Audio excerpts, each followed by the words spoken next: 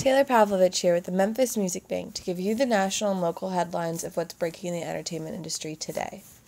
Commercial Appeal writes about the tragic passing of Steve Bing, a Memphis music benefactor who is remembered for his love of artists and his work with Jerry Lee Lewis. On Monday, film producer, philanthropist, and political activist Steve Bing died in Los Angeles. The news of his passing was felt deeply in Memphis, where Bing, a major music fan and booster, was beloved as a champion of the Bluff City's rich musical heritage. Bing had been the key force behind Jerry Lee Lewis's late career comeback since 2005, executive producing multiple albums and projects for the Rock and Roll Hall of Famer. On Tuesday, Lewis released a statement on Bing's passing. Steve Bing has been my friend for nearly 40 years. He was more than a friend, he was a confidant, a shepherd, and a son to me, Lewis said. We've spent countless holidays together, traveled the world, and enjoyed many fond memories. I loved him and will miss him dearly. It doesn't seem possible to live in a world without Steve. Rest easy, son. Following various media accounts about his death at age 55, Bing's former girlfriend, actress Elizabeth Hurley, and their 18 year old son Damian confirmed his death on their respective social media accounts Tuesday. The founder of Shangri La Entertainment, Bing was the grandson of a real estate developer, Leo S. Bing, a close friend of former President Bill Clinton, and a major contributor to the Democratic Party. Raised in Los Angeles, Bing dropped out of Stanford University to pursue a Hollywood career, first as a writer and ultimately a producer. He was the key figure behind the development of director Robert Zemeckis' groundbreaking digital features The Polar Express and Beowulf.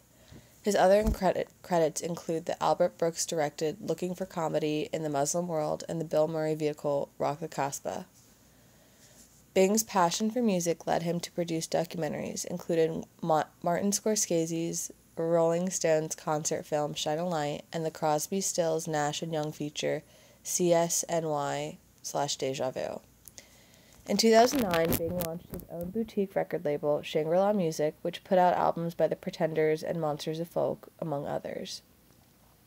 Despite his musical enthusiasms, Bing's greatest passion, certainly his deepest devotion, was for the pumping piano of the killer, Jerry Lee Lewis. Quote, Steve taught himself to play piano when he was a kid because he was just so bowled over by Jerry Lee and seeing him at the Los Angeles nightclub, the Palomino, last night. Said Peter Guralnick, noted musical author, Elvis Presley's biographer, and Bing friend. Steve was a fan in the best sense of the world. He was a fan of the music, he was a fan of the musicians, and he did everything he could to support them.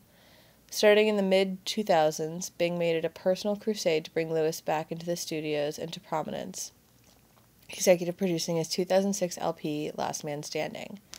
Making Lewis's first album in over a decade, Bing helped marshal many of music music's biggest names to appear on Last Man Standing, including the Rolling Stones Mick Jagger and Keith Richards, Bruce Springsteen, Neil Young, Rod Stewart, and Eric Clapton, among others. Bing also produced a companion live CD and DVD released in 2007, highlighting Lewis's shows in Los Angeles and New York in support of the album. Last Man Standing was his idea, and he executed the entire project per- perfectly, said Lewis. Everything he's done for me has been nothing short of perfect. The Lewis Bing relationship continued with the 2010s Mean Old Man and 2014's Rock and Roll Time. The latter album found Lewis returning to his spiritual home, cutting the record at Sun Studios in Memphis. Steve is one of the most positive people I've ever known, said Guralnick, who penned liner notes for the Lewis albums.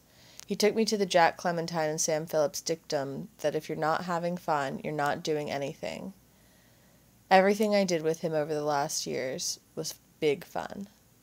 Bing continued his support of Lewis helping the rock legend, who suffered a stroke last year, put together a new album project produced by T Bone Burnett and an accompanying documentary directed by Burnett and his wife, Nashville TV series creator Callie Khouri.